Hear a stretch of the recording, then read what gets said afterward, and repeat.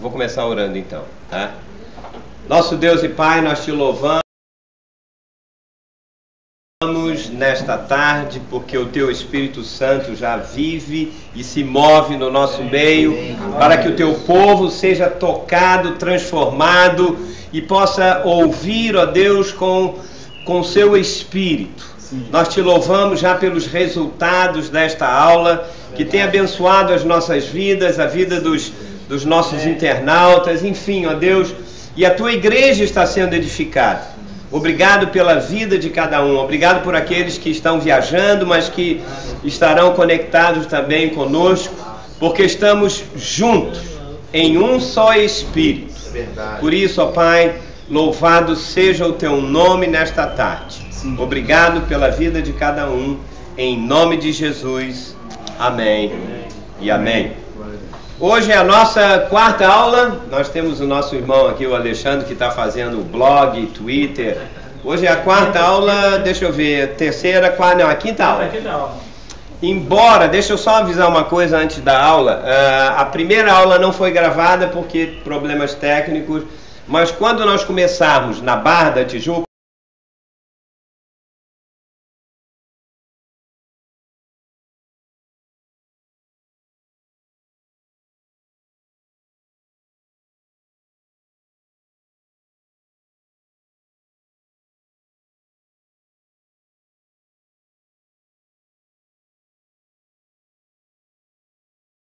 Pastor, quando vai começar? Já começou e não sabe. Eu não tive tempo de, de entrar em contato, principalmente com o pessoal lá dos Estados Unidos. Mas vamos chegar.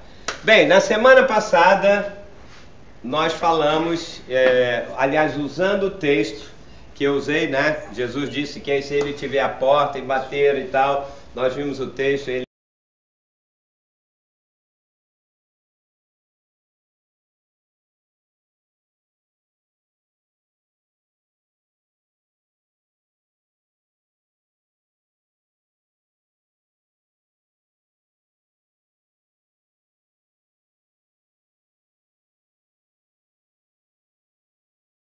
Eu não posso. Hein? Outras ovelhas. Falou de outras ovelhas, né? Que a gente lê o texto nunca vê esse detalhe. Então Jesus estava falando coisas importantes. Falou sobre o mercenário, sobre outras ovelhas e finalmente ele falou sobre um só rebanho.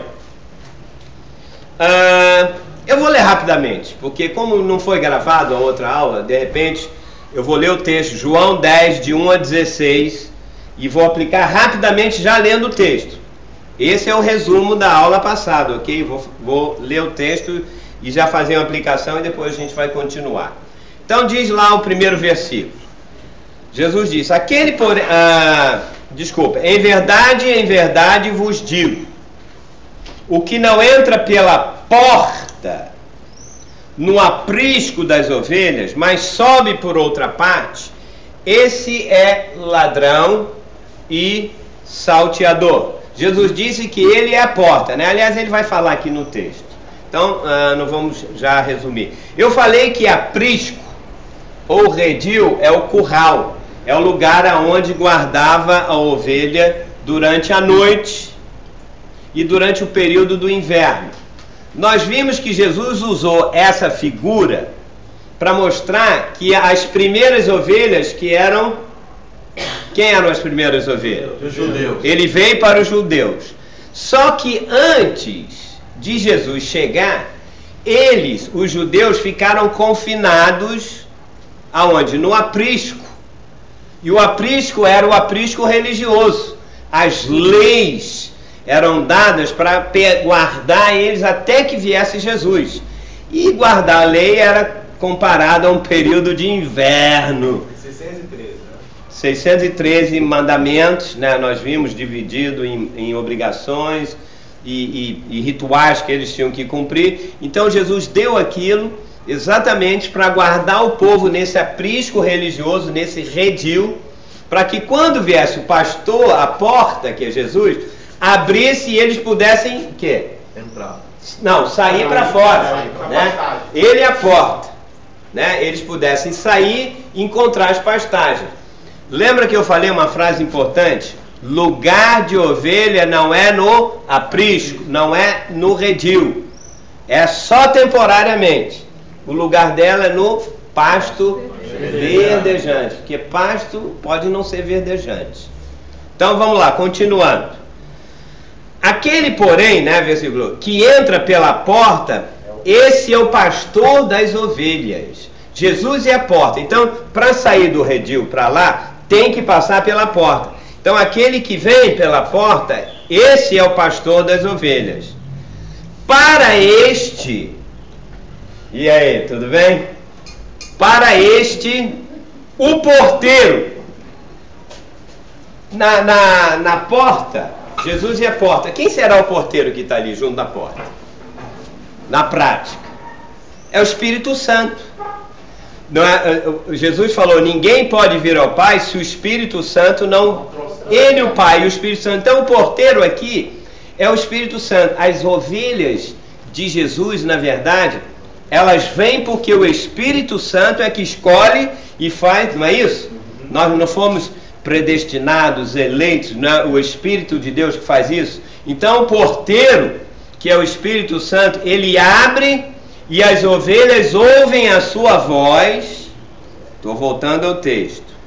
Ele chama pelo nome, ou seja, Jesus e o Espírito Santo conhecem cada um de nós pelo nome. Tudo na sua vida, isso antes até da fundação do mundo, como a gente já sabe. Então ele chama pelo nome as suas próprias ovelhas e as conduz para fora. Então, essas ovelhas são as ovelhas gentias, não é isso? Foram os primeiros a serem escolhidos, foram chamados primeiro. Agora vamos continuar. Depois de fazer sair todas as que lhe pertencem, vai, porque tem muita ovelha, né? Tá misturado lá, as que pertencem ao Senhor, ele chama, ele ouve a voz e ele vai. Depois de sair do aprisco judaico, que é o judaísmo, não é isso? Nós já vimos.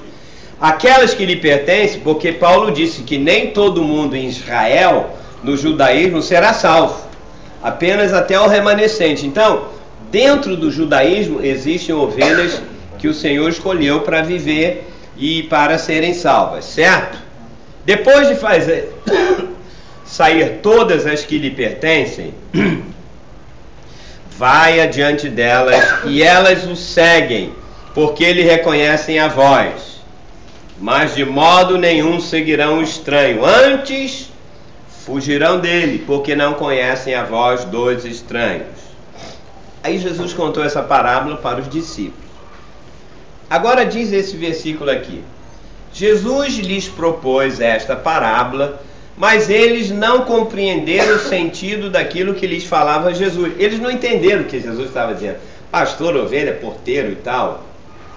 Eles não podiam, porque tinha que ser pelo Espírito Santo. E como eles ainda não tinham o Espírito Santo dentro deles, Jesus veio e explica essa parábola, o que ele quis dizer com isso. Que, aliás, para entender as parábolas hoje, a gente precisa de revelação do porteiro, do Espírito Santo. Porque as palavras, a parábola já foi escrita por Jesus.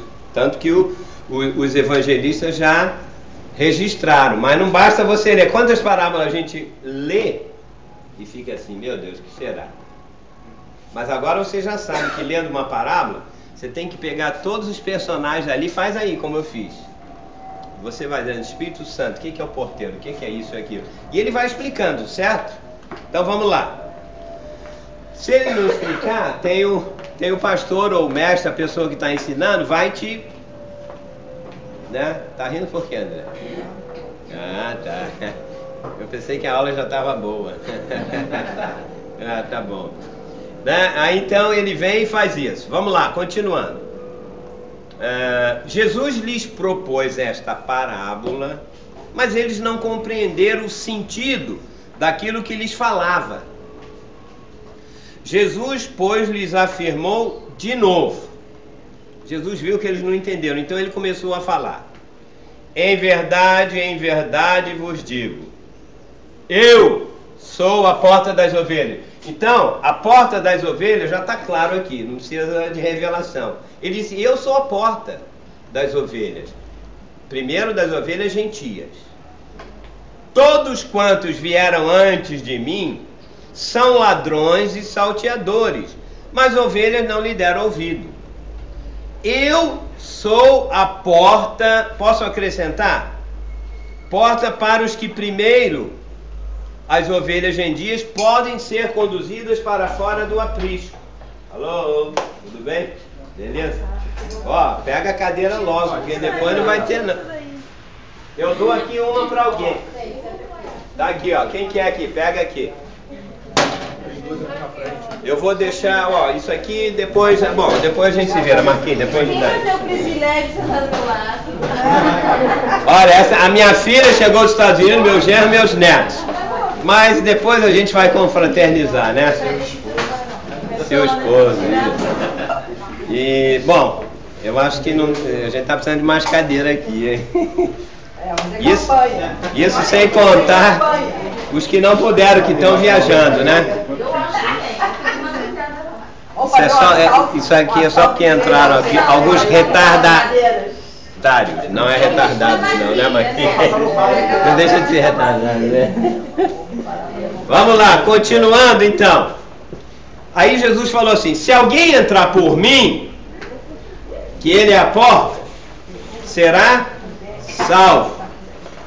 Entrará, sairá e achará pastagem. O que, que significa essa pastagem? Jesus disse: quem entra pela vida dele vai achar pastagem. Eu falei aqui que as pastagens verdejantes são as riquezas insondáveis. Eu vou usar a palavra de Paulo, de Cristo.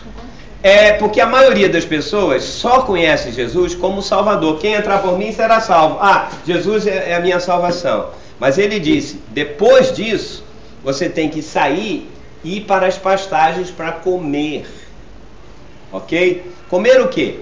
Das riquezas insondáveis. Se você conhece Jesus apenas como Salvador, você vai ficar morrendo de fome, porque existe uma pastagem, existem mistérios, existem é, é, fatos a respeito do reino de Deus, a, aliás, da própria vida do Senhor que nós temos que conhecer. Então ele disse: Olha, vai ser um pasto verdejante. Aos poucos eu vou mostrando textos em que Paulo fala sobre isso, ok? Então entrará e sair pastagem, ou seja, a vida de Cristo. Agora ele diz aqui: o ladrão vem somente para roubar, matar e destruir.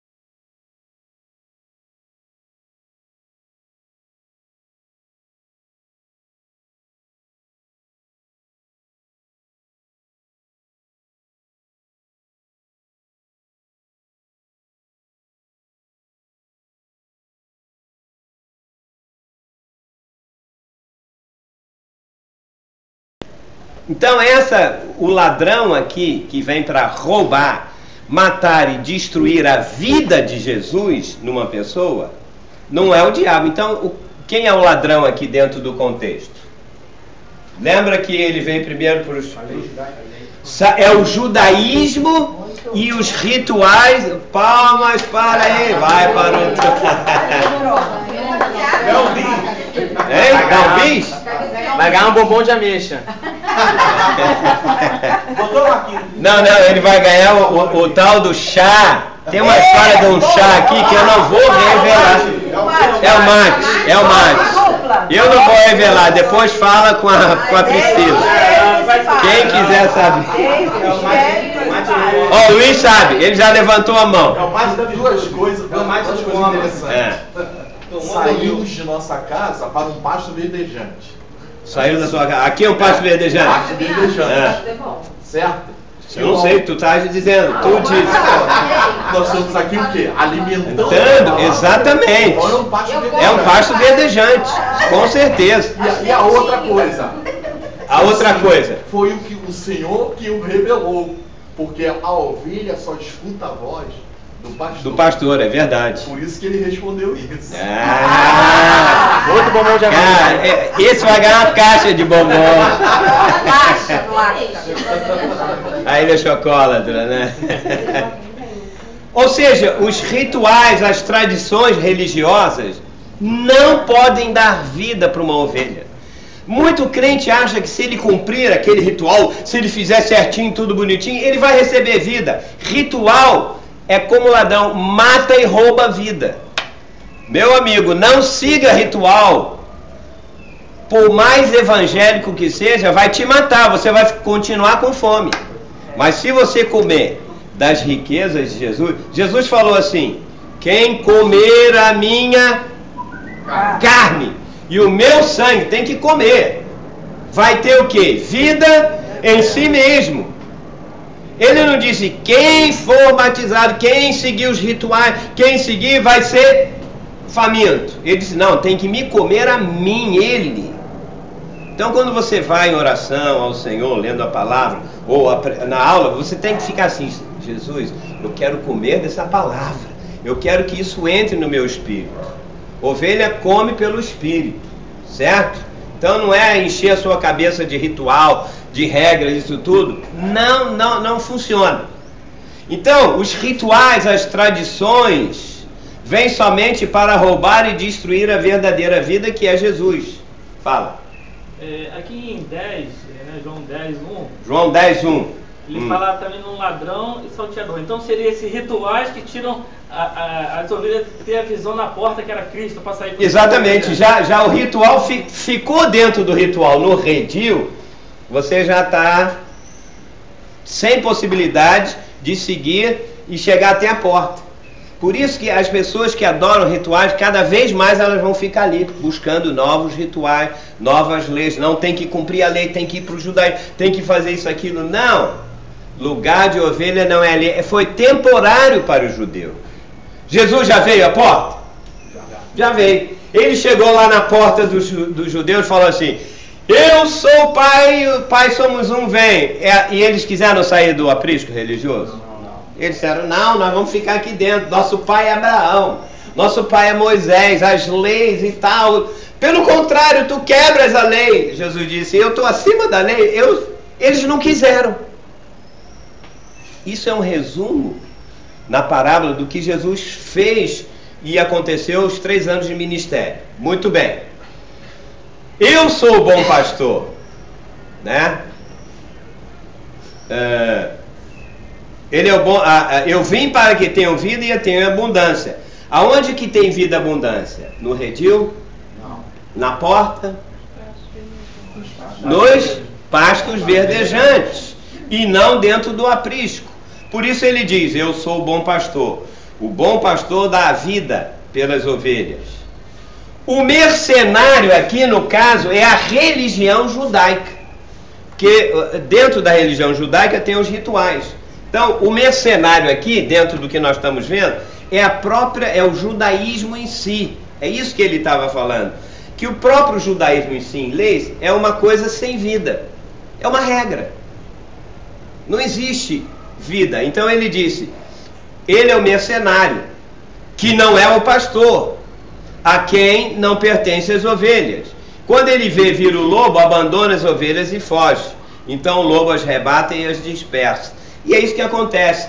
O, o, quando as pessoas que gostam de, de, rituais e leis, e cada um gosta de uma, outra da outra, o que, que acontece? Ah, não, eu creio nisso. Eu creio naquele ritual, ah, você não crê, então dispersa, né? Vai cada um para um lado. Ah, você é da graça ou da lei? Não, ah, não é, então vai para lá. Não, não se convive com ele.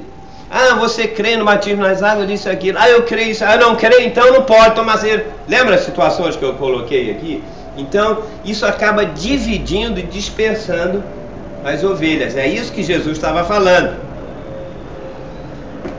O mercenário, ou seja, os rituais judaicos sem vida, né, foge porque é mercenário e não tem cuidado com as ovelhas. Eu sou bom pastor, conheço as minhas ovelhas, elas me conhecem a mim, assim como o Pai me conhece a mim e eu conheço o Pai. Eu dou a vida pelas minhas ovelhas. Agora parte para a segunda parte, no final do, do, do versículo. Ainda tenho que. Fábio outras ovelhas. E peraí, quem são essas outras ovelhas? São os gentios. Nós temos que usar sempre no Novo Testamento ovelhas judias e ovelhas gentias. Porque a linguagem do Novo Testamento é essa. Sempre é isso. Tá? E essas outras ovelhas, as ovelhas judias estavam aonde? No aprisco, todas juntinhas. E aonde estavam as outras ovelhas gentias? Perdidas, dispersas. Somos nós, nós, estávamos, nós não éramos de Israel e fomos dispersos em todas as nações do mundo. E Jesus disse: Ah, é? Vocês não querem sair do retiro? Então fica aí. Fica aí. Eu agora vou buscar outras que estão aí no mundo. Ele foi. Foi isso que ele falou para os discípulos. Vai todo mundo em Jerusalém, Antioquia, até os confins da terra, porque está cheio de ovelha perdida. Aqui, né? Em, em, Madureira, em Campinho, nos Estados Unidos, o mundo inteiro está cheio de ovelha desgarrada. E Jesus, com o porteiro, que é o Espírito Santo, está indo buscar cada uma delas. Isso é amém ou é uma pergunta? Não.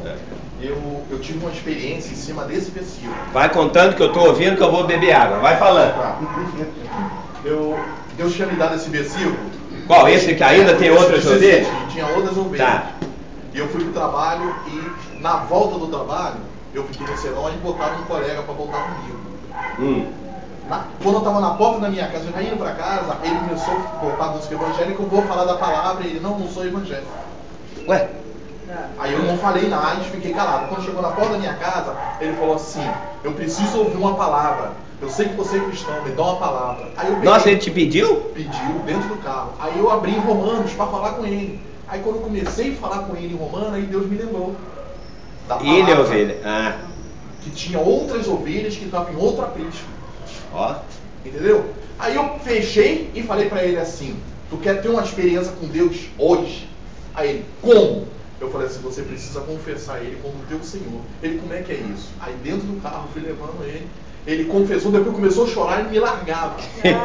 Como é que você dirigiu? Não, eu já estava na porta da minha casa. Ah, já estava, tá. Entendeu? Aí não quis sair do carro, do seu redil. É. O redil do Luiz era o seu carro, né? Já entendi. Eu não queria mais sair. Hoje, esse rapaz, está ele, a esposa e a filha está aqui na, na, aqui na igreja. Na igreja, bora. Glória a Deus. Que bom. Beleza. Então foi uma experiência que eu tive com Deus em cima desse versículo. Em cima disso.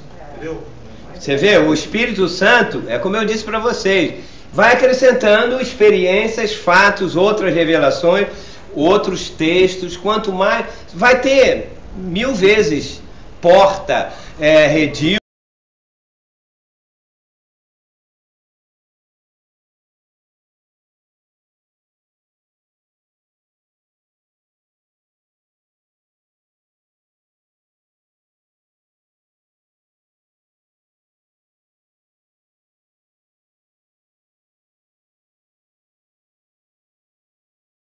Que são as gentias, que não são deste aprisco, ou seja, do aprisco judaico, não é isso? A mim me convém conduzi-las, elas ouvirão a minha voz. Então haverá o que? Um rebanho e não dois apriscos. Não é isso? Porque o povo evangélico diz assim: não, os judeus e nós gentios. Parece que são dois grupos separados. Jesus está dizendo: não, eu tenho ovelhas judaicas e ovelhas gentias. E a ver, olha só, então vamos começar a definir aqui qual é a verdadeira igreja de Jesus Cristo. São, é um rebanho, e um rebanho é igual a quê? Ovelhas judaicas escolhidas tem, a verdadeira igreja tem que ter judeus eleitos escolhidos, certo? Então ele tirou algumas ali, as outras ficaram no, lá, quiseram ficar no legalismo. E ele disse: Eu tenho outras que estão perdidas, que são as gentias. Então eu me convenia a ela pegar elas, judaicas e gentios, juntos, e ali haverá o que? Um só rebanho. Não é isso? E não dois apriscos, o aprisco judaico e o aprisco gentio e um só pastor. Quem é o único pastor? Jesus. É Jesus. Ok? Ou seja, eh, elas fazem parte do mesmo rebanho. Aqui no Brasil, talvez não seja uma realidade muito, talvez não tenha muitas ovelhas gentias, mas tem, e, e judaicas. É, quando eu, eu, eu, morava ainda no, no Leblon, em Ipanema, tinha uma irmã da minha igreja que ela fazia um trabalho com judeus messiânicos. Alguém já ouviu falar em judeu messiânico que crê em Jesus como Senhor e Salvador? E, e eles têm, eles tem ritual lá, por exemplo, lá nos Estados Unidos está cheio. A cidade que eu morava lá em Boca Raton, talvez 70% da cidade são judeus. Então tem muitos judeus que se converteram ao cristianismo. Eles são chamados judeus messiânicos, que creem em Jesus como Senhor e Salvador, como nós cremos. Então tem muitas sinagogas messiânicas que falam de Jesus, você precisa ver um culto deles. É, muito, é até mais completo do que o nosso. Porque eles têm o ritual da lei e têm ao mesmo tempo Cristo como Salvador. Então, na hora que eles dançam, vocês chegaram aí, o Bruno, chegaram na, na sinagoga, quando eles dançam no meio do louvor, eles dançam igual o judeu lá, cantando, mas orando em línguas, cantando no espírito. É, você olha, eu me lembro que, os, tinha os garotos dançando. Eles, eles sabem o significado. Dado, exatamente, do ritual. Coisa, não é um ritual. É não é um ritual, ritual exatamente. Eles fazem a coisa, mas eles têm o, o significado espiritual. E, e é, não é lindo. o judeu que normal que faz aqui. Faz ritual, só lê a lei e tal. Não. É, é, é completo. Por é. quê? Porque eles têm Jesus como Salvador, como a gente. Então, eu, lá em Copacabana tinha, não, não sei se aqui na Zona Norte tem alguma coisa, mas vá um dia visitar isso. Não, é, é assim. Judeu não mora na Zona Norte. Por que, que não mora? Todos ricos. é, mas lá. É. Eu tenho judeu pobre. Não, eu também não, mas eu não pode ter aqui. Eles têm noção. Eles têm noção. É, tem. Mas aqui Bom, gente, bom, eu, eu, a gente já falou do outro rebanho, isso, aquilo e tal, tal. Acabou o resumo? Acabamos o resumo. resumo. É, é o resumo, foi o resumo, é, já, é, já sabe como é que é, né? Deixa eu, deixa eu ver uma coisa aqui que eu vou falar.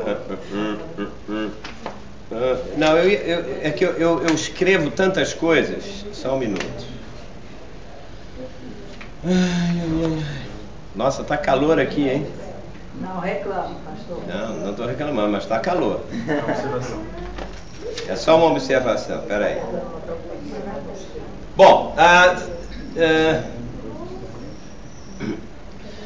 a conclusão do resumo da aula é aqui, no único rebanho de Jesus Cristo, a igreja verdadeira, tem ovelhas gentias e ovelhas judias desfrutando das riquezas insondáveis de Cristo, ou seja, não de religião, não de ritual, não de legalismo, não de regras, não de tradição de homem, não de filosofias, nada disso, mas desfrutando de pastos verdejantes, que é a própria vida de Cristo que a gente tem que receber por revelação através do porteiro, que é o Espírito Santo, que ele que nos revela ah, ao, próprio Senhor.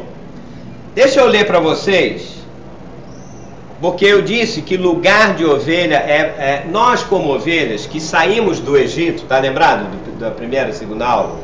Fomos salvos como Israel do Egito, passamos pelo deserto, que é, é o tempo de vida, que é a era da igreja, 40 anos, e temos que entrar aonde? No Shabat. Ser salvo apenas não é suficiente. Você tem que entrar no Shabá, no descanso de Deus. Saiu do Egito, a, a era da igreja é só uma passagem. Eu tenho que entrar no Shabá. O que, que significa hoje? Nós estamos na era da igreja caminhando num deserto. E nós vamos, o nosso alvo não é a igreja. É o reino. Não é isso? que vai acontecer. É o sétimo dia, é o Shabá, o descanso. Na, no livro de Hebreus, eu vou falar aqui rápido, Hebreus capítulo 12, as pessoas dizem assim, não, o livro de Hebreus, a maioria dos cristãos, dos teólogos evangélicos, dizem assim, o livro de Hebreus não era para ser colocado no cânone do Novo Testamento, porque ele só fala sobre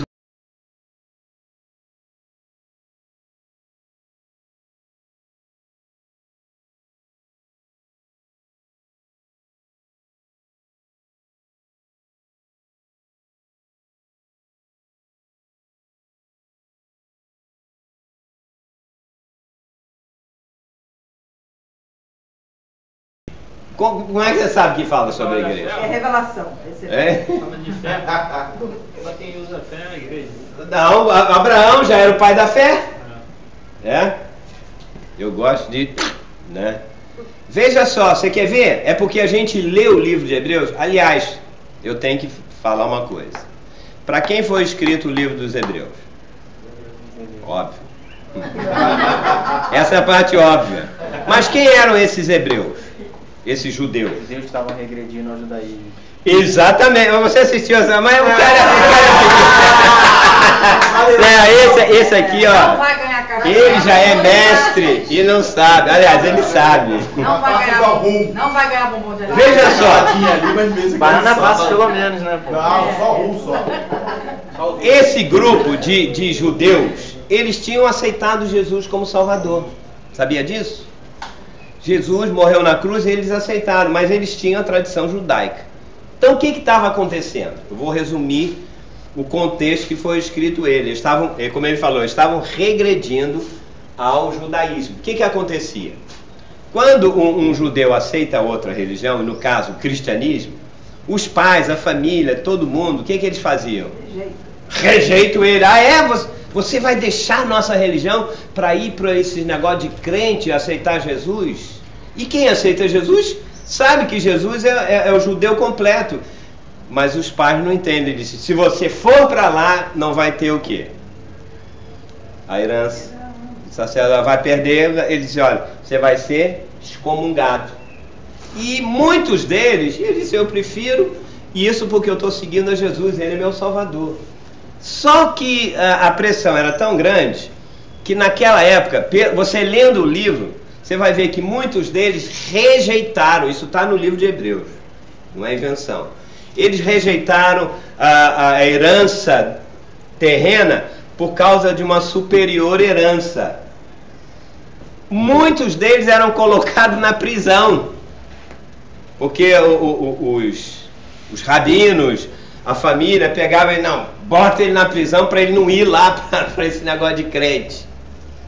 Então eles começaram a, a retroceder e disse, puxa vida, o que, que a gente faz? Eu creio que foi Paulo que escreveu isso, tinha que ser uma pessoa que entendia muito de judaísmo, para mostrar para ele que Jesus era superior a Moisés, às leis. Ele fala: olha, Moisés, tanto que o, o, o texto que eu vou ler aqui, ó, Hebreus capítulo 2, versículo 12. Então, se alguém te disser para você, ah, não, não fala de igreja, Hebreus 2, 12 diz assim: eu vou ler rápido, tá? A igreja mencionada, olha, diz aqui: a meus irmãos declararei o, o teu nome, cantar-te-ei louvores no meio da congregação. Ele, esse livro foi escrito para mostrar que Jesus é superior a Moisés, a Abraão, às leis e tudo mais. Então ele disse: Olha, no meio da congregação eu vou cantar louvores, né, no meio dos meus irmãos. Agora, mais adiante, porque eu tenho que correr, senão eu não vou dar aula de Hebreus hoje. Hebreus 3, de 1 a 6, fala sobre isso, que eles estavam dizendo assim, não, como é que Jesus pode ser superior a Moisés? Vocês têm que guardar a tradição, as leis, você tem que ir fazer isso e tal. Nesses seis versículos, que eu não vou ler agora, fala que Jesus era superior a Moisés. Está lá no texto. Acredita. E depois de mencionar isso, no capítulo 4, que foi o capítulo que eu dei na primeira aula, estão lembrados? Ele fala assim: olha, você quer voltar a regredir para o judaísmo? Você quer voltar a praticar as leis e vai abandonar a congregação? Vai abandonar os cristãos judeus que confessaram Jesus como Salvador? Tem um problema. Aí ele vem no capítulo 4 e diz assim: por isso que você tem que ler tudo dentro de um contexto. Ele, ele exorta eles a entrarem no descanso, esforcemos-nos para entrar naquele descanso. Lembra da primeira aula? Quem teve na primeira aula? Olha aqui, ó. Eu não vou ler aqui todo o texto que fala 12 vezes sobre o descanso sabático. Hebreus 3, de 14 a 19, Hebreus 4, de 1 a 11. Né? Nunca entrarão no descanso, esforcemos-nos para entrar naquele descanso, para que não aconteça como aconteceu com Israel, que saiu do Egito e caíram no deserto e não entraram no descanso ele estava usando o mesmo texto. Olha, vocês querem voltar para o judaísmo? Querem? Vocês não vão entrar no reino. Vocês não vão entrar na terra de Canaã. Então, muitos deles disseram: Eu prefiro sofrer na prisão, eu prefiro sofrer o, o, o espólio dos bens, que está tá lá em Hebreu. Eu prefiro perder a minha herança do meu pai, do judaísmo, mas eu vou ganhar uma superior herança, que é a herança do reino. Então, é, essa era a discussão toda tá? E diz no versículo é, Hebreus 4, 11, né? Ele fala: do desca resta um descanso para o povo de Deus e esforcemos-nos para entrar naquele descanso. Ou seja, não é fácil você ter que ab abandonar os rituais judaicos, abandonar a, as coisas do, é, de, de herança religiosa, herança física e tal, para entrar, para continuar no judaísmo. Então, a vida da igreja, na verdade, é o descanso sabático. Por isso ele falou: olha, não abandone a sua congregação. Por quê? Porque o verdadeiro descanso está na igreja. Quem é que está na igreja? É Jesus. Então, o Shabá é o próprio Cristo que está na igreja hoje. Por isso que nós temos que nos esforçar para viver a vida da igreja. E quantas pessoas estão fora na igreja hoje? Fora da igreja hoje? Parece que tem mais cristãos salvo, convertidos, que não se esforçaram, estão fora da igreja, continuam salvos. O que o escritor está falando é o seguinte: haja o que houver, esforcemos para entrar naquele descanso. Qual é o descanso? A vida da igreja. Eu vou mostrar uh, isso agora através de alguns outros textos. Posso apagar aqui? Se der para apagar, né? Ficou desde a semana passada, mas não faz mal. Eu vou. A, a, abre aí Romanos capítulo 16, já vou te dar o versículo enquanto eu apago aqui. Porque Paulo tinha esse. Na, na época de Paulo, tinha o mesmo problema. Muitas pessoas, por causa das lutas, dos problemas, que existiam dentro da igreja, do corpo. Você viu as cartas que ele escrevia? Eram sempre cartas de admoestação para que o povo não voltasse para o judaísmo ou para os cristãos. Caramba. Tá amarrado, né? Para que eles não deixassem a vida da igreja, mas que voltassem. Mas Paulo sabia do problema. Olha o que, que diz Romanos 16. Romanos 16, versículo 17 a 20. Olha, uma vez que você entrou no descanso da igreja, você tem que se esforçar para não sair. Ah, mas pastor, eu sei, eu sei. Eu sou pastor, eu, eu conheço os dois lados. Eu sei os problemas da ovelha, os problemas do pastor, isso, aquilo, da igreja. Você imagina se eu fosse sair agora da igreja? Eu, eu, eu acho que eu tenho mais problemas com pastores do que vocês com ovelhas e ovelhas. Então, se eu fosse assim, sabe o que eu ia fazer? Tchau, não vou mais, estou fora da igreja.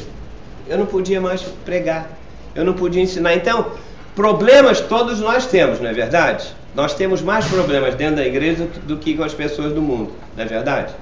É verdade ou não é? Eu pensei que era só eu, então, tudo bem. Mas vamos nos esforçar para não perder o descanso. Paulo diz assim: Rogo-vos, irmãos, que noteis bem aqueles que provocam divisões e escândalos. O problema na igreja é que tem pessoas que provocam o quê? Divisões e escândalos. Ele disse: olho nessas pessoas. E daí? em desacordo com a doutrina que aprendestes. Paulo diz para fazer o quê? Isso aqui não é doutrina falsa, ele está falando pessoas que pertencem ao rebanho. Afastai-vos deles. O que que Paulo estava dizendo? É era briga de doutrina? Não. Dentro da igreja tem pessoas que causam divisões e escândalos porque eles querem defender o quê? A doutrina deles. É ou não é? Ninguém briga na igreja por isso. Ele disse: não se preocupem com pastores e líderes e irmãos que estão na igreja tentando impor a doutrina deles, dizendo para o outro não. Ele diz: isso cria divisão. O que, que separa a igreja evangélica? É a doutrina. Não é isso? Paulo, quando disse isso, as divisões e os cantos, era exatamente porque eles estavam impedindo os escândalos, a, as pessoas a saírem da vida da igreja. A doutrina afasta. E uma vez que a pessoa está fora, ela não pode receber a vida de Deus, porque na igreja é o melhor lugar para você receber da vida de Deus. Você recebe a palavra. Se o pasto é verdejante, você recebe a palavra, aquela palavra cai dentro de você e, e, e, e o pastor pode estar tá falando até alguma Você foi lá para receber vida e, você, quando vê, você comeu tanto no pasto que você já está no chão ali da benção, isso, aquilo. Mas se você está recebendo se o pastor ou o líder, seja quem quer que for, que dirige uma. e só fica dizendo, escândalo, não vai isso, aquilo, aquilo ali, o pasto está o quê? Verdejante? Está seco. Tu tá... Paulo disse, foge daí, porque se você não comer pasto verdejante, a igreja, a igreja evangélica que não fala da vida de Deus, de coisas boas, você vai ficar seco, vai morrer. E você vai acabar também comendo capim seco, e você vai ficar, porque aquilo que você, você vai dizer, é realmente, aqui né, todo mundo é isso aqui. Um morto leva o outro morto. Então, se, se, se a coisa não está boa, fecha o ouvido, sai. É isso que Jesus estava falando. Alguém levantou a mão? Essa igreja é morna. É mole, é, é, é, a igreja de Laodicea, não é água nem fresca, nem medicinalmente curativa, lembra? Aquela foi curada, ela é fresca. É. Isso que eu estava lembrando. É a aula passada, não foi na aula passada que eu falei sobre a igreja de Laodiceia, que dá a opinião do povo? Tem doutrinas na igreja e pastores que falam da opinião do povo. Eu quero, eu quero, eu entro numa igreja, se a pessoa o líder não me dá comida fresca, não, sabe o que, que eu faço? Eu me desligo, eu não saio para não bancar o mal educado. Ou então, senão alguém vai pensar, ah, o ímpio saiu e tal, vai querer. Então o que, que eu faço? Eu digo, Senhor, fala o meu coração, eu quero, eu quero comida. Eu quando estou com fome, sai de baixo. Eu preciso comer logo. Hoje tinha um almoço na casa da minha, meus filhos, estavam na barra, a gente foi para comer na, na Ilha do Governador. Eu sabia que o almoço ia sair uma e meia, duas horas. E eu com fome, eu fico irritado. Peguei meu neto, que o meu neto me segue. Eu falei, vamos embora, vamos com o vovô, ali embaixo tem um restaurante. Eu comi 11 e meia, 15 para meio-dia. Eu já estava com fome. Sentou eu e ele, comemos uma lasanha, comemos. Então eu cheguei lá, já era uma e meia, duas. Tranquilo tranquilíssimo. Acabou todo mundo comendo, aí no final eu fui lá e ainda arrematei o resto. Eu não, se eu estou com fome, eu tenho que comer. Hum. Isso é interessante. Fala alto, é, é, só falar alto, sabe por quê? Para poder gravar. As pessoas dizem, ah, eu não vi o que o irmão falou, todo mundo riu, não, ou não só riu, mas eu não aproveitei, tá? Ter fome da palavra, isso daí é muito interessante, é o que nos leva a buscar realmente o que nos interessa. Porque ali em João hum. já fala que Deus fala, as minhas, as minhas ovelhas conhecem a minha voz. As ovelhas também têm que estar atentas se o local de congregação realmente Deus vai falar. Entende? É ou não é verdade? É isso que. Ou se é o interesse do homem, né? Se é o interesse do homem, é o quê? Se você busca ali outras coisas. Ritual, doutrina. Não dá. Eu quero, como você falou, eu quero uma boa comida. É isso que Jesus estava falando. É verdade. Quer completar? Não, somente só para acrescentar. Você sabe de uma coisa? Quando alguém está doente, qual é o sinal de que a pessoa está se recuperando? Medicinalmente falando. Quando ele tem fome. Quando ele não tem fome, ele está lá na cama, "Ah, dói tudo, não quero, quer dar sopinha, não quer, não quer. Se ele está se recuperando, o primeiro sintoma de um paciente é quando ele tem fome. Opa, o cara tem fome, o médico já fica logo o quê? Opa, isso é um bom sinal, dá comida. Come, come, come. Um sinal de que você tem vida é quando você come a palavra. Quando você tem ritual, não adianta, só vai criar divisão, facção e tudo mais. Ok? Muito bem. Ah, vamos resumir tudo que eu falei sobre o descanso sabático, que é, é, isso tudo faz parte da introdução, né? Nós vimos desde a primeira aula até agora, eu vou fazer um resumo em três minutos.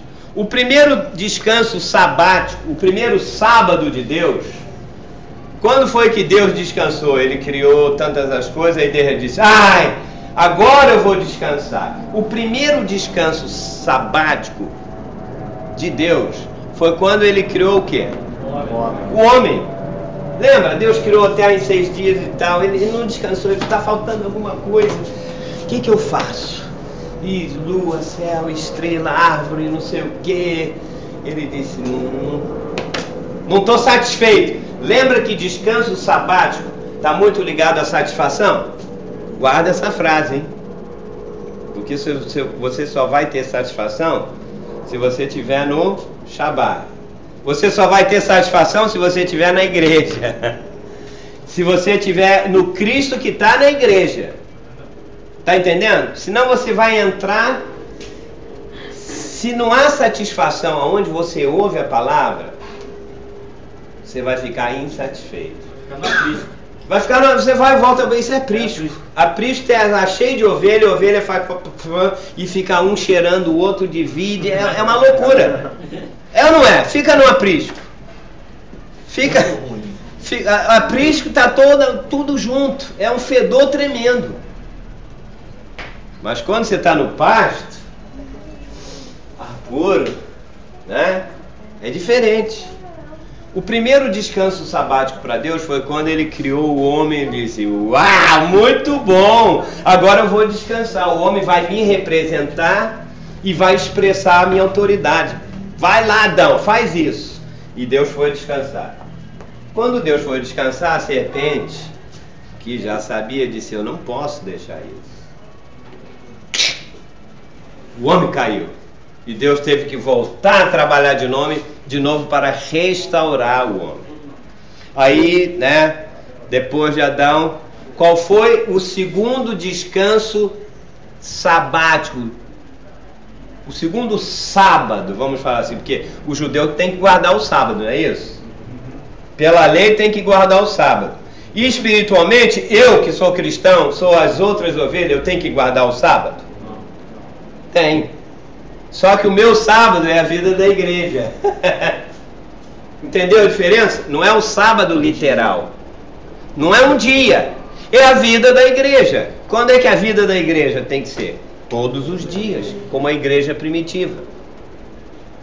Guardar a comunhão, porque lá eu tenho que expressar a vida de Cristo. Se tá bagunça na igreja que você tá, coma, expresse a vida de Deus naquele local, todo mundo vai dizer, epa, peraí, peraí, peraí. A confusão tá aqui, mas esse irmão aqui tá. Por quê? Ele comeu das riquezas de Cristo e ele vai dizer, irmão, vamos orar pelo fulano, vamos fazer isso, vamos fazer aquilo e tal. Você diz, é verdade. Então, vamos salvaguardar a vida da igreja. Vamos buscar ao Senhor e tal, isso, aquilo. Daqui a pouco, quando, quando isso acontecer, o fedor das ovelhas vai se transformar também na comida boa. E quando as ovelhas começarem, "É, é, é", o pastor vai dizer, "Ué, o que está havendo aqui? Aí ele vai se converter de novo. Né? Me entenda no bom sentido. O segundo sábado de Deus, não, tá cedo ainda. Eu sei que hoje, né, a gente, eu daqui ainda vou para Teresópolis hoje à noite, vou pegar a estrada, mas vamos mais um pouquinho. O segundo sábado de Deus, que ele entrou em descanso, foi quando? Quando o povo de Israel entrou na terra de Canaã, não foi isso? Quando eles entraram na terra de Canaã, eu li um versículo aqui, que aí houve descanso, porque eles passaram 40 anos no deserto e foram descansar quando eles tinham a casa deles. Não, não foi por isso. Tá lembrado do texto? Espera aí. Foi quando aconteceu o que lá na terra de Canaã? Alguém lembra? Aqui, ó. Eu vou ler o texto, vamos ver se você vai descobrir. Não, pera aí, eu vou ler o texto. Deuteronômio, isso não foi gravado porque a primeira aula não gravou. Deuteronômio, capítulo 12, versículo 9 a 11. Olha o que Moisés fala, né? sobre o descanso, porque olha, nós temos que entrar no descanso, no Shabat. E o povo passou o deserto inteiro, estava para entrar no descanso. Olha a palavra dele. O primeiro descanso para Deus foi quando ele criou o homem, mas o homem caiu, então veio o segundo, que diz assim: Porque até agora, Deuteronômio 12, de 9 a 11, não entraste no descanso e na herança Ó, a igreja é um lugar de descanso e um lugar de Uau! O que que eu vou herdar na igreja? Uma boa herança que Cristo diz no Efésios. Ele recebeu toda herança e deu. Lembra Efésios capítulo 1? Ele, Deus deu tudo para Jesus e Jesus deu tudo para a igreja. Se você está fora da igreja, você está perdendo uma herança que tem lá dentro. Por enquanto você só está vendo a divisão, tal, isso, aquilo. Mas, ó, nós estamos aqui na vida da igreja agora, você sabia disso? Isso aqui é igreja. É ou não é? Com certeza. Então tem herança aqui hoje à noite. Tem! Tem que ter. E quem distribui essa herança, ó, é o Espírito Santo que está dentro de você, dentro de mim, e ele vai distribuindo. E olha, quando você sair daqui, dependendo da sua expectativa, se você sabe que tem herança aqui, você diz, Senhor, eu estou precisando de uma herança nesse. E olha, tudo que Jesus tem é para nós hoje. Até agora não entraste no descanso e na herança que vos dá o Senhor vosso Deus. Mas passareis o Jordão, que era o rio, eles estavam. Porque passou o rio Jordão, eles já iam entrar na terra da, de Canaã. Ele disse: Olha, nós vamos passar agora o Jordão e habitareis na terra que vos fará herdar o Senhor. Foi Josué que fez isso com eles, né? Vosso Deus. E vos dará Shabá, descanso, de todos os vossos inimigos. Você, você, você tem inimigos? Tem? Eu tenho. Você queria ter descanso para parar de lutar contra esses inimigos? Ah, mas é ele que luta contra. Não importa se é ele ou é você. Quando você entrar nessa terra, ele vos dará descanso de todos os vossos inimigos. Era para dizer amém, mas tudo bem, você ainda está. Você está no redil ainda, mas você chega lá. Em redor, e morareis seguros peraí, peraí, isso é a vida da igreja? Tem herança lá? E na igreja tem que ter segurança. Se você entra na igreja, come um pasto bom, você, você não tem medo. Segurança em todos os sentidos. Morareis seguro.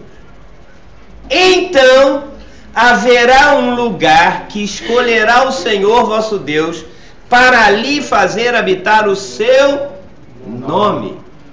A esse lugar farei chegar tudo que vos ordeno: os vossos holocaustos, os vossos sacrifícios, os vossos dízimos e a oferta das vossas mãos e toda a escolha dos vossos votos ao Senhor.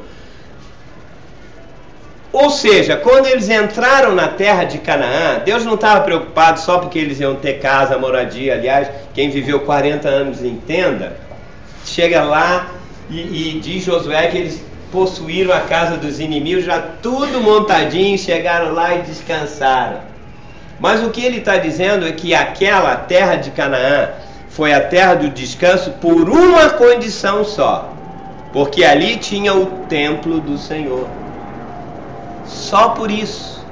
Ou seja, neste lugar vocês vão trazer os dízimos, vão trazer isso, vão trazer aquilo. A terra de Canaã foi a terra do descanso só porque Deus estava ali. E ali eles podiam expressar e representar a Deus. Novamente a história se repetiu.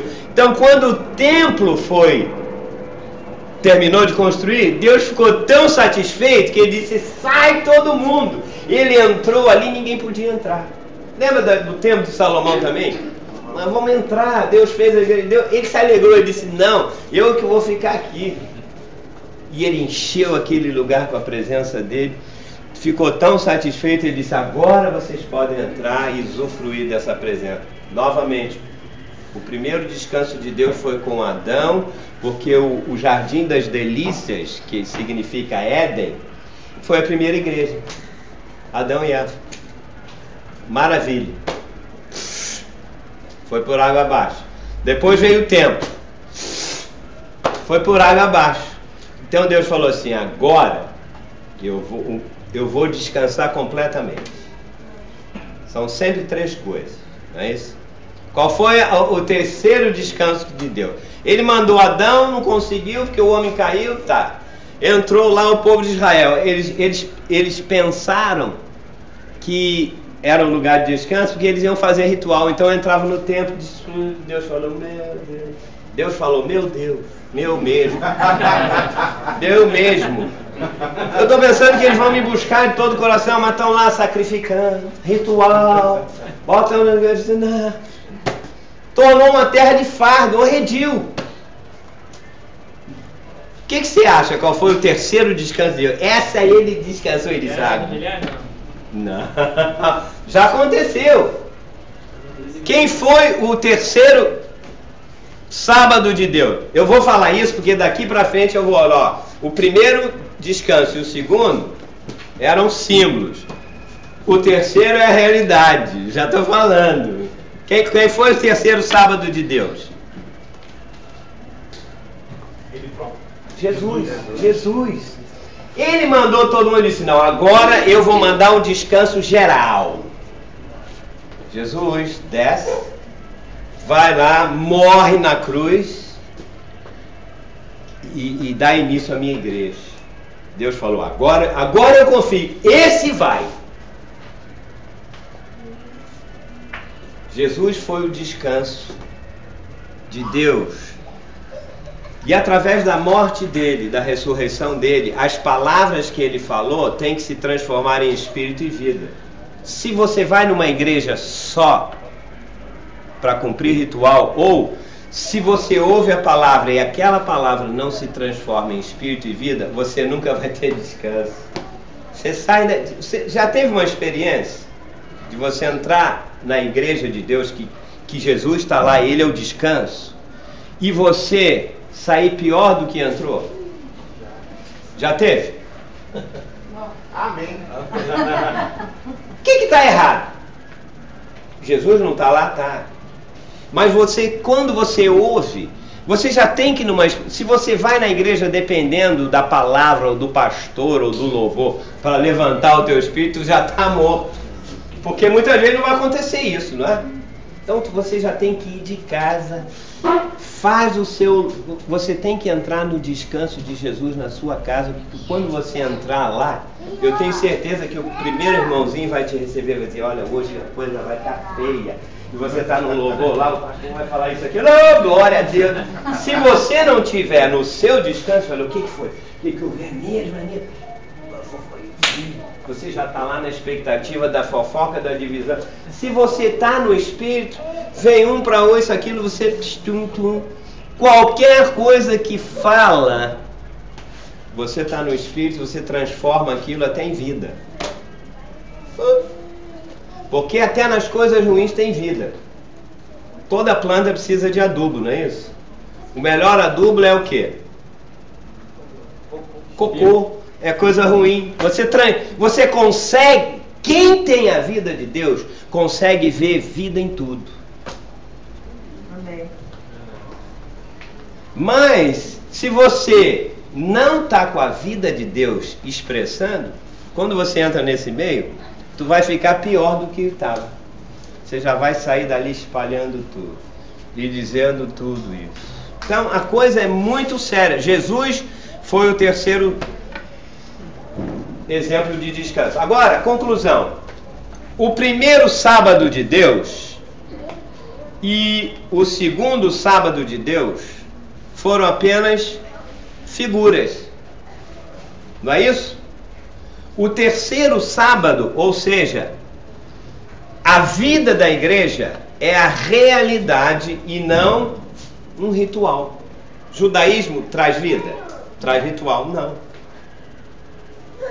E a vida de Deus na igreja? Ou seja, a vida da igreja é um descanso para Deus, é um sábado, vamos chamar assim, a vida da igreja é a, a igreja. Desculpa, peraí.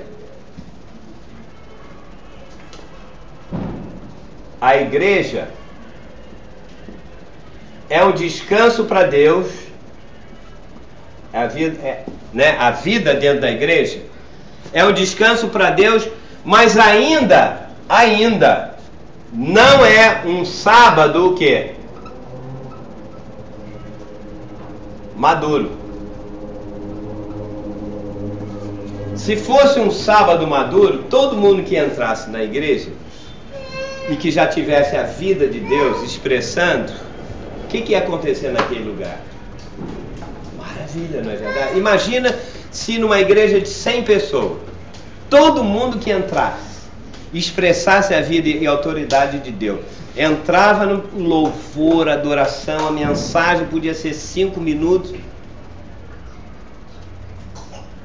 A vida de Deus ia se mover ali, Deus ia fazer coisas extremas. Ninguém ia pedir oração. Ninguém ia pedir cura. Quando você entrasse, Deus já estaria tão alegre que ele já ia te curar. Você viu, Ih, eu estava com câncer, eu estava cego. Isso é a verdadeira igreja. Mas nós estamos tão sem vida, embora salvos. A gente está tão morto, tão seco da vida de Deus que você entra. Finalmente hoje, hoje eu vou ganhar minha cura. E você não ganha a sua cura. Você fica mais frustrado. A gente vai de morte em morte. E vou no próximo domingo. Aí ele cansa de ir ali vai para o outro redil. Que eu falei de outros redils também, né? e vai lá, né, pior e vai. Então, as, você já notou, eu notei isso quando cheguei aqui. As pessoas estão de igreja em igreja, de lugar em lugar e volta para cá e volta para lá. Será que é a igreja? Sou eu mesmo. Não é a igreja, não é o pastor. Ele também está. Talvez ele está menos com vida ainda. O nosso problema é que nós não temos uma vida. E a vida de Deus é quando você lê a palavra primeiro em casa você ora e diz: Espírito Santo, me enche. Eu preciso de vida, não de, de ritual. Eu não preciso de conhecer letra da Bíblia. Eu não preciso. Eu tenho que conhecer é o Espírito em cima da letra. A letra, Jesus disse, ela tem que se transformar em espírito e vida, senão ela mata, ela é morte. Entende o que eu estou falando? É, quando fala em ritual, né, hum. você cita sempre os judeus, mas nós não estamos vivendo na realidade do judeu, nós estamos vivendo na realidade da igreja. E na igreja que é do outro rebanho. É, hum. exato. E na igreja, nós fazemos rituais. A gente aponta a igreja católica como sendo. Nós temos, sim, é verdade. Ritual, é verdade. Mas nós, sem querer, nós entramos em rituais. É até mesmo o ritual de ir à igreja domingo. É um ritual. Só que se você não for, não botar vida, como ele falou, né? Deus Exatamente, torna-se redil. É verdade. É ritual, porque aí você vai Acabou. Você vai, né? Aí chega lá, falou. Como obrigação, por causa de uma culpa. É. é. e eu não fui hoje. Então, ah. isso a gente tem que, que, questionar dentro da gente, né? Quando a gente sair, quando for. Ou seja, se eu não estou comendo do pasto é, verdejante, é, é que eu estou no redil, estou doente, estou isso e aquilo. E o bom pastor que a Jesus sempre vai me dar uma verdadeira comida. A conclusão que eu chego é que a igreja não é uma figura do não é uma figura do sábado. Ela é a realidade do sábado. As outras duas eram figura. Adão era figura, o templo do Velho Testamento era uma figura, mas a igreja é a realidade. Só que a igreja, embora seja a realidade, ela ainda se transformou num redil. Porque hoje tem o redil batista, o redil presbiteriano, tá lembrado? O redil renascer, o redil não sei o quê. E quando isso não pode acontecer. Para terminar, tá? Eu chego a uma conclusão que a vida da igreja, para nós, hoje, ela não é uma vida ainda madura. Porque se fosse madura, seria uma beleza. Mas hoje, a vida da igreja é como uma semente. Ou seja, você planta a semente e ela cresce numa árvore, num fruto, e quando amadurece, né, ela chega à sua colheita.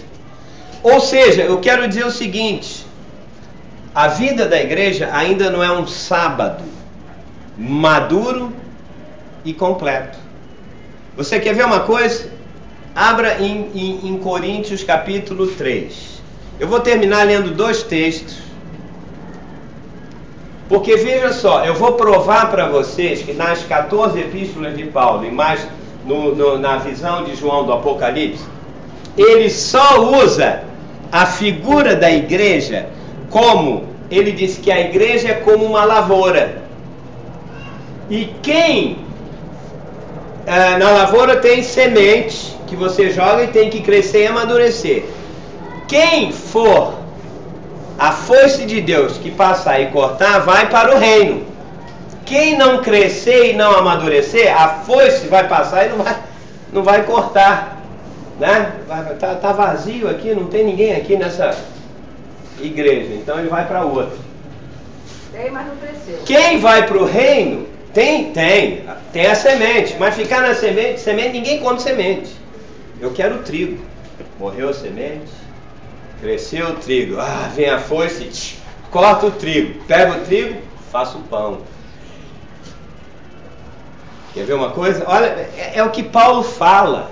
1 Coríntios capítulo 3, eu vou ler versículo de 6 a 9. Porque agora, deixa, deixa eu falar uma coisa aqui. Deixa eu te perguntar sinceramente agora, todo mundo olhando aqui para mim, olhando aqui, ó. Se a colheita de Deus fosse hoje à noite, daqui umas duas horas, se Jesus viesse, que eu vou te mostrar, o anjo vem e ele vai ceifar quem amadureceu. Você hoje estaria pronto para a para a colheita de Deus? Você estaria pronto? Eu não, não sei levantar a mão não, porque eu Estaria. Hein? É. Não. Você deu duas horas ainda? Tem duas horas. Tem duas horas. Tá. Você ir nessas duas horas, você Vamos ir. acabar dia 21, então. Ah, é, tem um gaiato aí do calendário maia que vai até o. di- Dia 21. Até parece que é, Até né? quinta-feira. Então não- Agora eu vou dizer uma coisa: ninguém cresce e amadurece em 24 horas, nem até o dia 21, não. Tem muita luta para crescer. Você quer ver o que Paulo diz? 1 Coríntios 3, de 6 a 9. Eu plantei, Paulo está dizendo, eu plantei.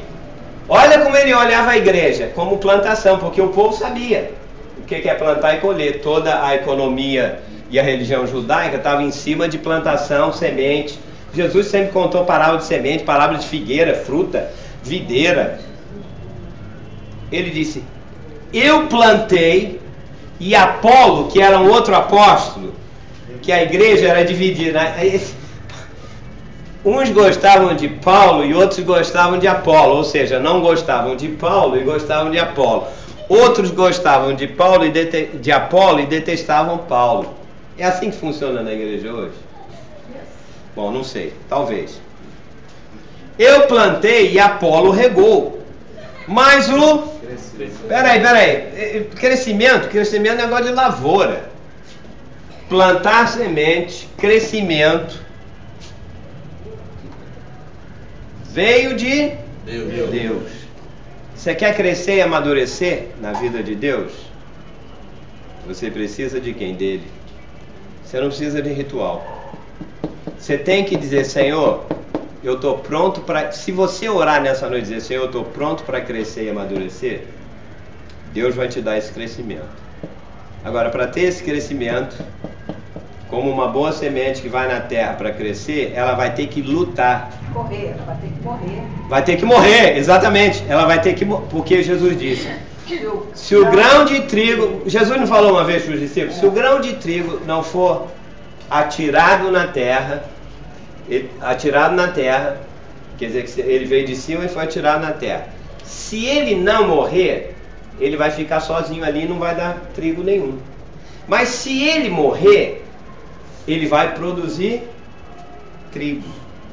Ou seja, quem foi o grão de trigo que foi atirado na terra e que teve que morrer para poder dar trigo e vida?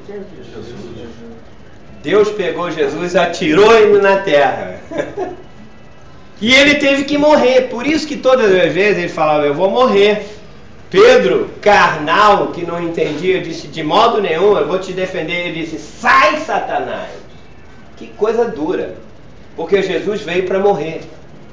Mas Pedro, não, coitado, tu não vai sofrer, não vai morrer. Ele disse: sai. Porque Jesus sabia que ele tinha que morrer. Da mesma forma, se você quer produzir vida, você tem que morrer. Não, Jesus já sofreu, eu não preciso mais sofrer. Sai, Satanás, quem pensa assim.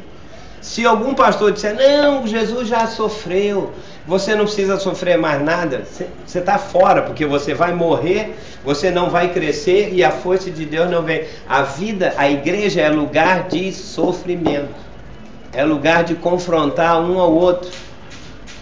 Fica ele só. Eu plantei, Apolo regou, mas o crescimento veio de Deus. De modo que nem o que planta é coisa alguma, ou seja, nem Apolo é coisa alguma, nem eu. Nem o que rega mas Deus que dá crescimento. Ora, o que planta e o que rega são um. Agora preste atenção aqui. Eu vou dizer uma coisa muito forte antes de terminar de ler. Quem quer ir para o reino Shabat? Para o milênio, mil anos com Cristo. Eu quero, eu vou. Estou me esforçando, eu vou. Quem quer receber o seu galardão? Que é o rei. Todo mundo quer. Mas olha, você tem que crescer. E para crescer você tem que morrer. Por isso que ele usa, eu não sou nada e nem Apolo é coisa alguma. Mas Deus que dá o crescimento. Aí ele vem e diz: conclusão. Vou continuar lendo. O que planta e o que rega são um. Cada um receberá o seu galardão segundo o seu próprio trabalho. Epa, quer dizer que galardão tem a ver com crescimento. Quem não crescer na vida da igreja não vai ter o quê? Galardão. Ou reino. A coisa mais fácil para não ir para o reino é não crescer na vida de Deus dentro da igreja, porque ele fala aqui que a igreja é lavoura. Ah, pastor, então eu estou fora da igreja, eu estou fora do reino? É verdade ou não?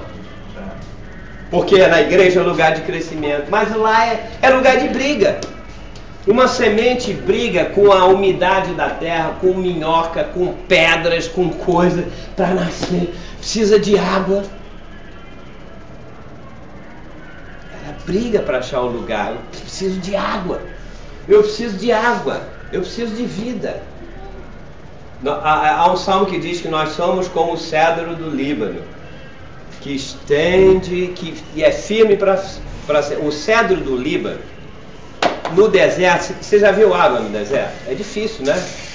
O cedro do Líbano, para ele crescer, a raiz dele tem que ir por dentro da terra, às vezes 2, 3 quilômetros. Estou com sede. Vai lá e pega a água e ele cresce. Dentro da igreja, a gente precisa da vida de Deus. Tem luta, tem pedra, tem coisa. E isso é a nossa alma. Então ele diz: Cada um receberá o seu galardão segundo o seu próprio trabalho de crescimento. Porque de Deus somos cooperadores. Lavoura de Deus. Paulo não está falando sobre lavoura? Comparando a igreja com uma lavoura? Se não está, então eu não entendo a mensagem de Paulo. Edifício de Deus sois vós. A igreja é um edifício. O que é um edifício? É uma coisa que vai subindo. Não é isso? Cristão de, de, de subsolo. Da morte. É o pé, sou o pé. É a garagem, está morto, sufocado. Menos um. Talvez você seja cristão de primeiro andar. Tem o primeiro andar. Não tem nem parede, primeiro andar. Ele disse: a minha igreja tem que ser um edifício. Tem que crescer, porque na hora da foice passar, a foice passa, não tem ninguém aqui. Quero ver quem vai para o reino. Passa a foice. Não tem, não deu trigo. Agora é para terminar, Apocalipse 14, só para mostrar para vocês que a linguagem do Velho Testamento, Jesus contou as mesmas histórias, Paulo contou e agora eu vou mostrar que João contou. Fala. Então, só um detalhe, que Paulo, quando falou sobre Apolo, quando falou, falou ele não criticou Apolo. Não, ele disse somos cooperadores, é verdade. Né? Então, isso É uma boa coisa que a gente ideia. tem Atrás de um que- grande homem é uma grande mulher, né? Obrigado. Porque o fulano pensa assim, o fulano considera. Por quê? Ele tem a. a, a Uma a parte do crescimento. Né? Agora, ele, mas o crescimento vem não através de Apolo e nem de Eu plantei e a Paulo Mas ele regou, cada um fez uma coisa. co- Como corpo de Cristo. Então, esse negócio da gente não considerar o outro, a, a Cristo, como não sendo uma coisa, isso, isso não é bom, não. É Paulo sinal de isso. morte. E em sinal de morte não tem crescimento. Não tem crescimento, não vai para o reino. Não vai. Isso é carnal, né? É carnal. É. Agora você quer ver que João usou a mesma coisa? que não discernir o corpo. Isso aí é discernir o corpo. Lembra? Discernir o Paulo falou assim. Escreveu lá em 2 Coríntios 11. Eles estavam esperando o maior elogio de Paulo, né? Que Paulo estava preso, não podia, e disse: Nisto não vos louvo, porque quando vos reunis para a ceia, não é para melhor, mas era para pior. Porque há no meio de vós o quê? Contendas, divisões e até morte. Por isso que vocês estão morrendo literalmente. Porque vocês não, eu, a frase que ela usou, não estão discernindo o corpo. Não, ele não é corpo, porque ele pensa diferente, ele é é isso e aquilo. Quando um pastor diz assim, começa a dividir, faccionar o corpo, dizendo não vai lá porque lá não é corpo, não vem aqui, vem aqui porque aqui somos o. Sabe o que está acontecendo? Ele está atraindo morte para ele mesmo. Porque a misericórdia de Deus é tão grande, gente, que ele, ele faz vista grossa e diz: não, amanhã ele vai mudar de ideia, amanhã ele vai mudar de ideia, amanhã ele vai, mas chega uma hora. E olha, a igreja primitiva, primitiva começou com uma situação muito drástica e muito radical. Sabe o que foi? Todo mundo no mesmo espírito, todo mundo cristão, combinaram que na igreja primitiva que todo mundo que tinha mais do que um bem e isso e aquilo fizesse o quê? Trouxesse o dízimo e uma oferta daquilo e desse para as outras igrejas pobres. Todo mundo espontaneamente podia fazer isso. E lá foi todo mundo, deu um só espírito. Chegou um tal de Ananias. Ananias, era. Olha, para mim foi uma coisa muito drástica. Chegou Ananias, tinha um terreno, ele vendeu. E ele decidiu, você vai dizer, mas isso não tem nada a ver. Ele resolveu reter parte daquilo. Então vamos botar aqui.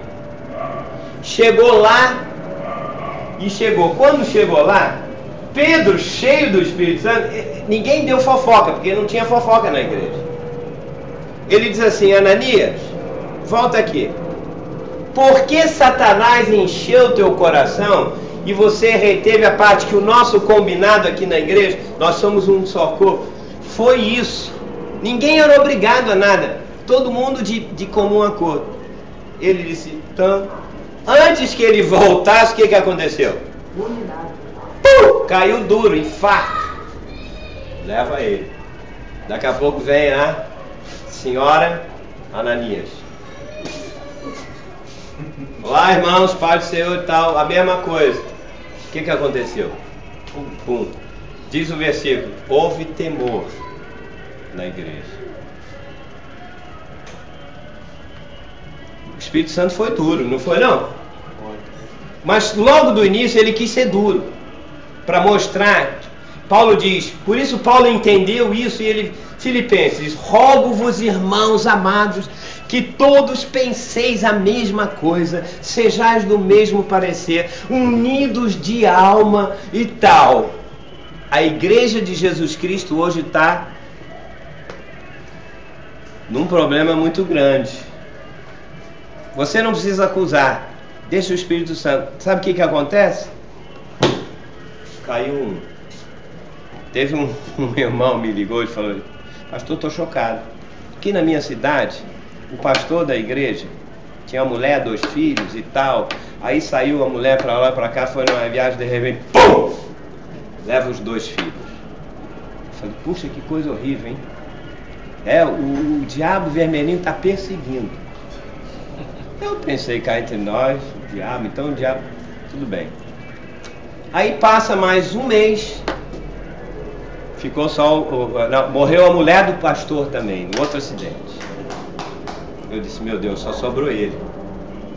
Aí morreu não sei mais quem. Aí houve um problema nisso aqui. O que, que é isso? Isso não é o diabo. É a operação de Deus.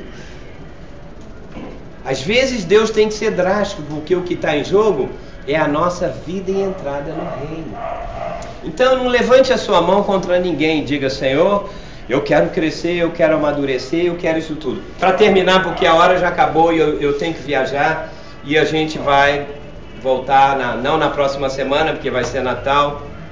Mas olha, Apocalipse 14, de 14 a 16, para mostrar para vocês que Deus usa a mesma linguagem desde o Velho Testamento no Novo, com a mesma aplicação de ceifa, de colheita, de crescimento, porque daqui para frente as próximas aulas vão ser um pouco mais agradáveis do que o que a gente tem falado, mas você vai entender na prática. Olha o que João disse: Olhei, era uma das visões, e eis uma nuvem branca e sentado sobre a nuvem, um semelhante ao filho do homem. Jesus estava, né, ele viu uma visão de Jesus na nuvem. E esse homem tinha na cabeça uma coroa de ouro. Coroa é símbolo de reino. É um homem que veio para reinar. Lá vem ele para reinar. Tinha na mão uma foice afiada antes de ele, ele veio para reinar, mas quem vai reinar é alguém que primeiro tem que ser ceifado. Aí o outro anjo saiu do santuário gritando em alta voz para aquele que estava sentado sobre a nuvem: Toma tua foice e ceifa pois chegou a hora de ceifar, visto que a seara da terra já amadureceu. Você sabe de uma coisa? Quando Jesus estiver voltando, vai começar a haver uma ceifa. Você vai procurar o irmão Luiz, o irmão Luiz vai. Ué, cadê ele? Foi arrebatado. Cadê o Alexandre? Chegou tarde do trabalho. Ai, pensei que ele tinha ido. Deu desculpa. Tá tomando sol. Ele tá lá brigando. Não, é só. Quem vai ceifar é, é o próprio Senhor, o anjo do Senhor.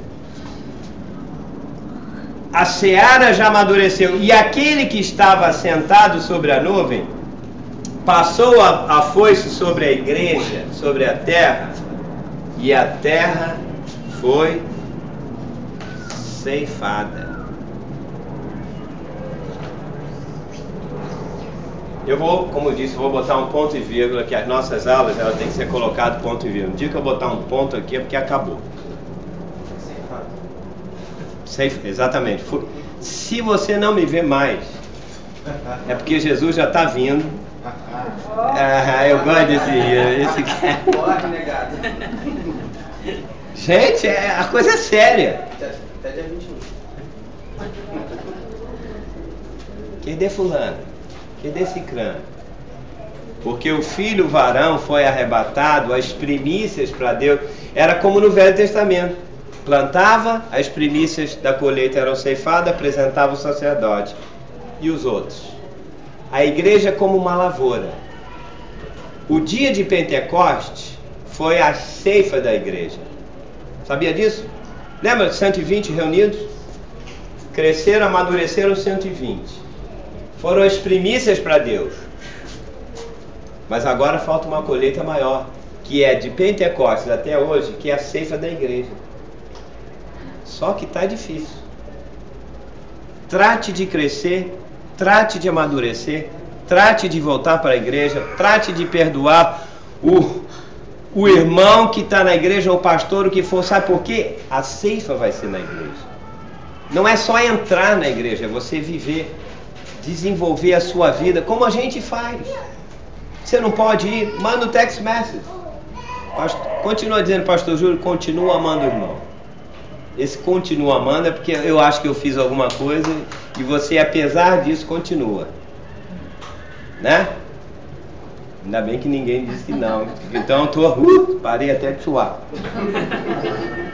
Então, continua a desenvolver, viver essa vida, porque a igreja é isso. Não é só o local aqui, ou onde você vai lá na igreja, ou isso, aquilo. É o que? Diariamente. É- Eu gosto quando às vezes o André me liga, ô pastor, tudo bem? Estou aqui no intervalo do meu trabalho. Olha, pastor, eu amo muito o irmão tal, isso aqui. Cara, quem não gosta de ouvir isso? Ele tá ganhando uma caixa de bombom. Ah, ele tá. A caixa de bombom. Que ele acertou o negócio, eu não dei. Não, ele Acertei. acertou. Se Deus tocar, né? Eu descer. Também se não tocar e eu não der. Também descer também. Tá? Mas entendeu? Porque a gente é falho. Mas isso aqui é amadurecimento. Ah, não, não foi dessa vez ainda, o pastor vai me dar. E se não foi dessa, não foi da outra, se não for nunca, continue amando assim mesmo. Vocês entenderam o que o Espírito Santo está falando hoje à noite? Entendeu? Eu, eu, eu, você tem que sair daqui dizendo: se eu não crescer e amadurecer, a foice de Deus não vai me alcançar e eu não vou para o reino. Deus colocou a igreja como condição. Porque Jesus não está em outro lugar desse mundo, a não ser na igreja dele. Que aliás a igreja é dele. Mas se a igreja dele, como é que está essa bagunça? É dele, ele sabe. Ele sabe. E ele permite isso, sabe para quê? Para você amadurecer e aprender a amar o seu irmão, o seu líder, o seu pastor, sendo ele isso, isso ou aquilo. Se você fizer isso, Deus disse: Uau, vou levar esse rapaz agora.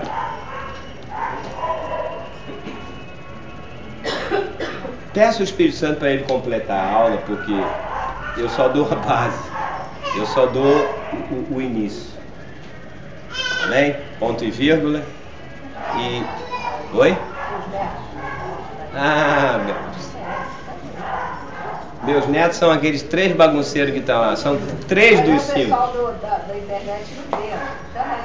Então traz aqui, traz aqui. O pessoal da internet, tem alguém aí na internet? Diz amém. Ninguém falou nada. Mas é, como é final de ano, meus filhos, minha filha, meu genro Bruno, meus três netos, né? De, ah, Bia, Enzo, Ian, vieram dos Estados Unidos. E o meu outro filho com os dois netos, vem cá, eu, Vou, vou pedir que. eu- Vamos terminar, eu vou pedir que um irmão ore pela gente, pela família. Vem cá, Bia. Vem cá com o vovô. pega no colo. Então vem cá, Raquel. Pega outro aqui. Vem cá, Bia. Ai, meu Deus, eu vou pegar mais pesado. Meu, meu outro filho está vindo na semana que vem, com mais dois netos. Nós vamos passar o ano aqui é, com eles. E eles é que é, assistiam a aula lá e vocês assistiam aqui. Agora a gente fez o inverso. Eu queria que alguém orasse pela minha família. Alguém ora aqui com a É, gente. todo mundo se levanta aqui agora, vamos orar, vamos pedir ao Senhor. Alexandre, quer orar ou, ou, ou quem? Ei, chega aqui, ora aqui na frente, quem for. Pedir ao Senhor, porque olha, nós precisamos muito mais. Luiz, tá bom. Nós precisamos e Deus sabe. Hein? Eis-me aqui. Eis-me aqui. Ok. Também vai orar? Quanto mais, melhor. Vamos pedir ao Senhor e nós vamos já terminar já já. Peça para nossa viagem. Nós vamos viajar agora. É, nós vamos viajar agora, vamos viajar durante esses dias, é Natal e fim de ano, é uma correria, é gente doida no meio da rua, mas o nosso Deus é maravilhoso e principalmente, né, porque ter um avô longe dos netos é difícil, né? Tanto para eles quanto para mim. Mas com certeza o nosso Deus há de suprir as nossas necessidades, como cada uma de vocês. Amém? Amém. Vamos orar então. Irmãos, vamos levantar nossas mãos e vamos abençoar Oh, essa, essa família. Obrigado.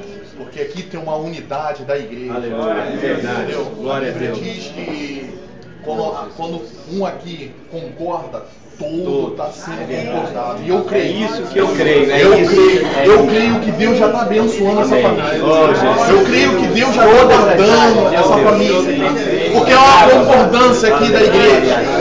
Há uma concordância aqui da igreja. Deus, Queremos já te agradecer, ó Deus. Queremos já te agradecer pela tua proteção por essa família. Queremos te agradecer porque eu sei que essa família está debaixo das tuas asas, Pai. Deus, eu te louvo porque mil cairão do teu lado, dez mil à sua direita. Mas essa família não vai ser atingida, Pai.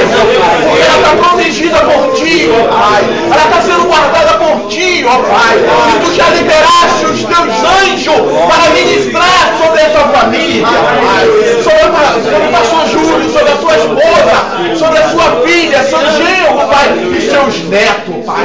Ó Deus, assim, ó Deus, debaixo das tuas asas estarão seguros. Porque Deus, o pastor Júlio a sua família, Pai, está confiante em ti, ó Pai, na certeza da tua proteção. Deus, agora quero te pedir também, Deus, na ida deles aqui para Teresópolis, ó Pai. Livra eles de todo acidente, livra eles de todo mal, ó Pai. Em paz, ó Pai, como eles chegaram aqui, ó Pai, em paz eles vão chegar em Teresópolis, ó Pai. Porque, Deus, eu tenho certeza que tu está guardando essa família, Pai, com a tua proteção, ó Pai. Deus, eu quero te louvar. Eu quero te louvar que cada ovelha, que cada irmão que está aqui, ó Pai, está num pasto verdejante. Nós estamos saciando a nossa alma. Pai, nos ajuda, Pai. Ajuda a guardar em nossos corações tudo que está sendo falado aqui, ó Pai. Para que nós venhamos botar em prática. Para que nós venhamos crescer em Ti, ó Pai. Crescer, ó Pai. Que quando Tu ó Deus, passar com a ceifa, Pai, nós vamos estar prontos para subir contigo. Te glorificamos, te exaltamos, guardamos, Pai, essas crianças debaixo das tuas mãos poderosas. Obrigado, ó Pai, porque, ó Pai, a filha do pastor Júlio genros veio dos Estados Unidos, vem em paz, ó Pai, vem guardado por Ti. E quando tiver de viajar, ó Pai, vai viajar em Tua paz, ó Pai, em Tua segurança. Obrigado, Pai, por essa comunhão. Obrigado por esse alimento. Obrigado por essa, essa aula, mais uma aula, Pai, que veio saciar a nossa sede. Oh, Deus, nós estamos aqui em passo vendejante. Que muitas das vezes terminamos a, a aula, Pai, não temos vontade de ir embora logo. Ficamos mais aqui batendo papo, ficamos aqui conversando, porque é prazeroso estar aqui, Pai, em comunhão com a igreja. Obrigado. Obrigado. Eu entrego essa família nas tuas mãos, certo. Que a vitória já chegou sobre essa família. Tu já derramou bênção sem medida sobre essa família. Abra os olhos dos teus filhos para que eles comecem a contemplar os teus anjos ministrando sobre a sua vida. E é o que eu te peço. É o que eu te peço, pela essa família, Pai. E é em nome de Jesus. Em nome de Jesus. Em nome de Jesus. Aleluia. Glória a Deus. Eu queria dizer que pra gente é um prazer estar aqui conhecendo vocês. Ah, A gente tem participado da reunião do Júlio desde quando começou, no comecinho. E ver vocês aqui, pra gente é muito prazeroso. Quero agradecer vocês por acolher o Júlio aqui e ajudar ele com tudo que tá precisando aí, com Teresópolis e tudo mais, que foi a mudança. Vocês são anjos de Deus. Amém. A gente está muito feliz É em vocês. Amém. obrigado. É. Glória a Deus. Vamos terminar então. E eu tenho certeza que Deus tem o melhor ainda. Nós vamos dar uma pausa na próxima semana. É Natal, festas, mas na primeira. É, dia 29, nossos alunos. É, né? temos- Hein? É segredo, é segredo, é verdade. É transmitido. Isso aí, mas nós vamos retornar no primeiro domingo de janeiro, não sei que dia é. Vamos retornar nossa aula pela internet também e aqui. E que Deus continue a derramar a sua água viva sobre cada um de nós. Uma boa noite, você que está aí pela internet. E nós voltaremos muito breve em nome de Jesus. Amém. E amém.